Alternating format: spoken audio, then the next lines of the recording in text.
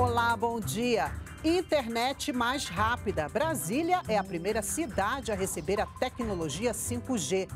Nova presidente da Caixa toma posse. Daniela Marques fala em gestão descentralizada e diálogo com os empregados do banco. E faltam 63 dias para o bicentenário da independência do Brasil.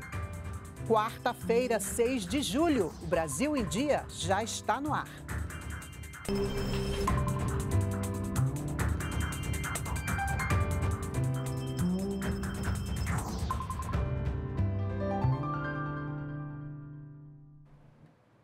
São 8 horas da manhã, estamos ao vivo também pelas redes sociais. A tecnologia 5G chega hoje a Brasília. A informação foi confirmada pela Anatel. E quem tem mais informações para a gente é o repórter Glauco de Queiroz. Bom dia, Glauco. Olá, Mara. Bom dia para você e bom dia a todos. É isso mesmo, né? Com isso, a capital federal passa a ser a primeira cidade brasileira a contar com a nova tecnologia de internet móvel, né? Brasília é, está adiantada né, em relação ao prazo estabelecido para a ativação lá no edital do leilão do, 5, do edital né, do leilão do 5G. Né? Esse prazo é, vai até o final de setembro para as capitais. Isso aconteceu, né? Porque Brasília é, cumpriu todos os requisitos, né, todas as etapas necessárias desse processo, né, entre elas a reorganização das frequências de ondas né, que são utilizadas no 5G. Né. Atualmente, parte dessa faixa é ocupada também para a transmissão né, do sinal das TVs parabólicas. Né, e essa transmissão, esse uso pelas TVs parabólicas deve ser transferido aí para uma outra banda. Né. As capitais têm até o final de agosto para fazer essa adaptação. Belo Horizonte, Porto Alegre e São Paulo também estão adiantadas nesse nesse processo né, e devem aí contar já com a rede 5G até o final de julho deste ano. Né? Lembrando que nas cidades com mais de 500 mil habitantes, né, o 5G deve chegar até julho do ano que vem. A expectativa é que a nova tecnologia esteja disponível em todos os municípios brasileiros até 2028. Veja mais detalhes na reportagem.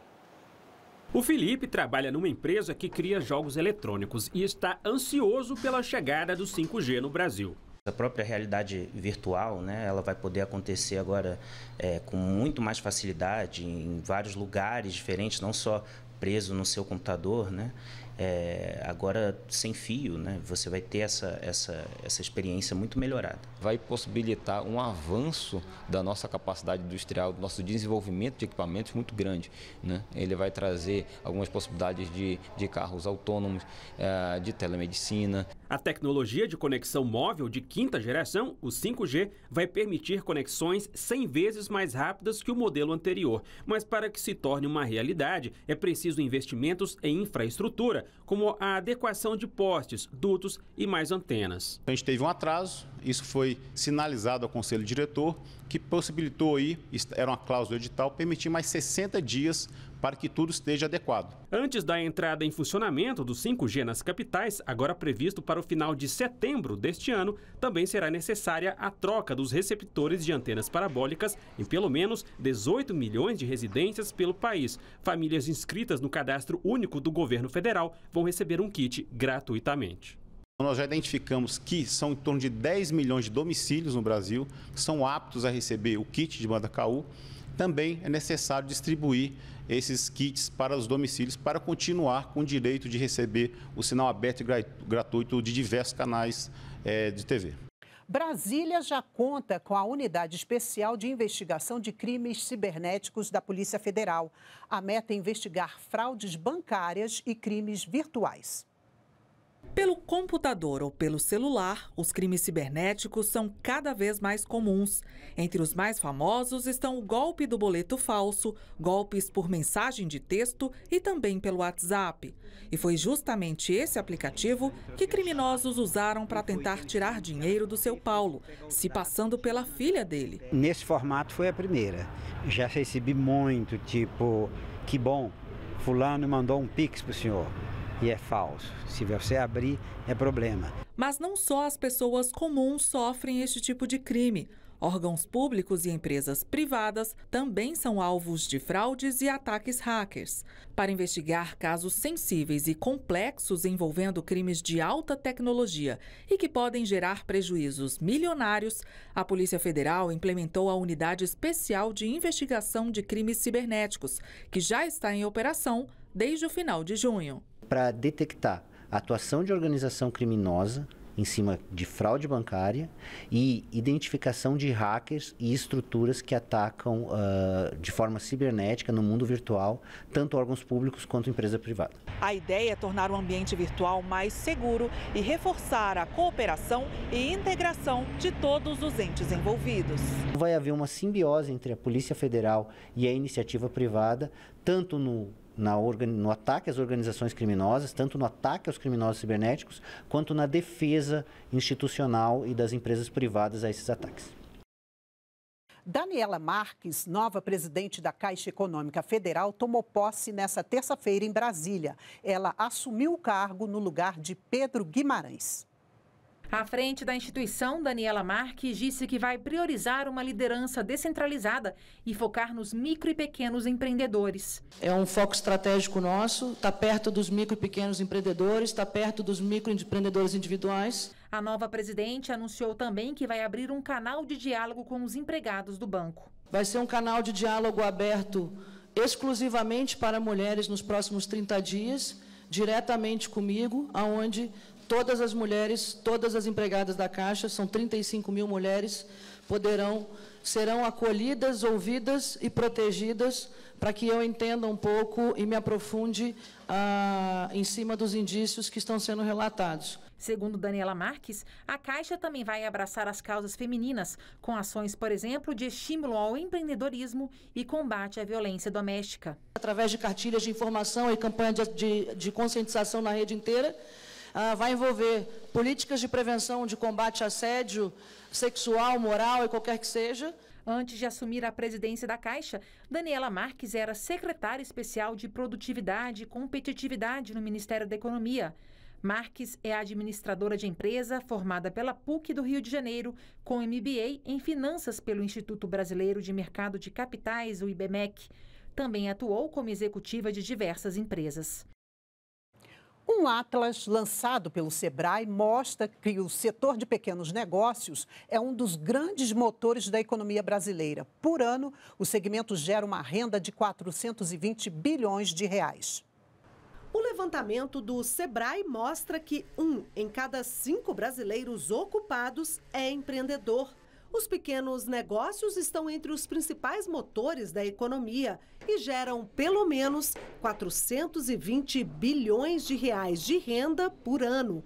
O Atlas dos Pequenos Negócios revela ainda que neste ano a renda familiar média dos microempreendedores individuais é de R$ 4.180 a maioria deles, 78%, tem no empreendimento a principal fonte de renda. Entre os micro e pequenos empresários, a renda média familiar chega a R$ 10.871 e 71% não possuem outra fonte de renda. No ano passado, o número de microempreendedores individuais, microempresários e empresários de pequeno porte somava 18 milhões de pessoas. Na última década, o número de microempreendedores individuais cresceu de forma acelerada, registrando um aumento de 323%, com mulheres assumindo o papel de destaque. Nos estados do Rio de Janeiro, Sergipe e no Distrito Federal, elas chegam a 38% entre donos de negócios. Hoje, pós-pandemia, a gente foi se adaptando, transformamos em MEI e trabalhamos com eventos menores, mais intimistas, mais personalizados, eventos que têm mais a cara do cliente. A produção industrial cresceu 0,3% em maio em comparação com abril. Essa é a quarta alta consecutiva do ano, mas ainda não conseguiu repor o recuo de 1,9% em janeiro. Os dados são da pesquisa industrial mensal do IBGE, o Instituto Brasileiro de Geografia e Estatística. 19 das 26 atividades industriais pesquisadas apontaram avanço na produção, com destaque para máquinas e equipamentos, veículos automotores, reboques e carrocerias. Desde o começo do mês, todas as geladeiras que chegarem ao comércio brasileiro, fabricadas aqui ou importadas, deverão apresentar a nova etiqueta de conservação de energia elétrica do Inmetro, que vem com QR Code. O prazo máximo para a adequação é junho do ano que vem. Esta etiqueta já é conhecida. Nela, o Inmetro aponta se a geladeira consome muita energia. Mas agora, além desse item, as novas etiquetas de todas as geladeiras nacionais ou importadas que chegarem às lojas têm que ter esse QR Code. Com o código, o consumidor pode conferir o status do registro do produto. Por meio do QR Code, os consumidores conseguem identificar o registro daquela geladeira no Inmetro e avaliar se ele está ativo, inativo, suspenso ou cancelado. Essa informação é de grande utilidade para os fiscais do Inmetro e dos órgãos delegados, que são responsáveis por avaliar a produtos irregulares no mercado. De acordo com o Inmetro, o QR Code vai se tornar uma ferramenta importante para o consumidor na hora da compra. Além de saber sobre eficiência energética, ele terá uma série de informações que podem ajudá-lo na decisão de levar ou não o produto para casa. O Inmetro pretende ainda expandir e criar uma plataforma para que o cidadão possa ter acesso a vídeos com dicas de consumo. Sempre levando em consideração o quesito eficiência energética para decidir qual eletrodoméstico comprar. Os produtos com etiqueta antiga podem ser comercializados até 30 de junho do ano que vem. Os aparelhos de ar-condicionado serão os próximos a contarem com o um novo código. Para os consumidores, uma novidade que ajuda a economizar. Porque tem muita gente que vai comprar e não sabe o que está comprando. Acaba gastando mais. A energia no mundo é, é ela está se voltando para a sustentabilidade, né? Para energia solar, energia eólica. E aí é importante diminuir o consumo, né? As inscrições do ENAD 2022 começam hoje e vão até o dia 31 de agosto. Elas deverão ser feitas pelos coordenadores dos cursos. O Exame Nacional de Desempenho dos Estudantes vai ser aplicado no dia 27 de novembro e serve para avaliar o conhecimento dos estudantes e também a qualidade das instituições de ensino. A prova é obrigatória para alunos que estão ingressando e concluindo cursos de bacharelado e superiores de tecnologia. E agora uma notícia que a gente dá com profundo pesar. O jornalista Ricardo Carandina, nosso colega aqui na empresa Brasil de Comunicação, morreu na última segunda-feira, aos 60 anos, em Brasília. Ricardo Carandina entrou na empresa há 18 anos na extinta Radiobras. Ao longo da carreira, foi repórter de TV e rádio. Participou das principais coberturas políticas, econômicas e internacionais.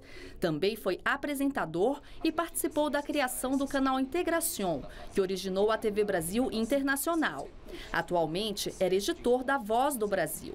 Jornalista sério e competente, Carandina, como era conhecido por todos nós, colegas e amigos dele, também era dono de um jeito discreto, mas sempre gentil, o que conquistou a simpatia de todos que o conheceram. Em nota, a empresa Brasil de Comunicação prestou condolências aos familiares e amigos de Ricardo Carandina. E os colegas da EBC fizeram hoje, ao longo do dia, homenagens ao jornalista e amigo.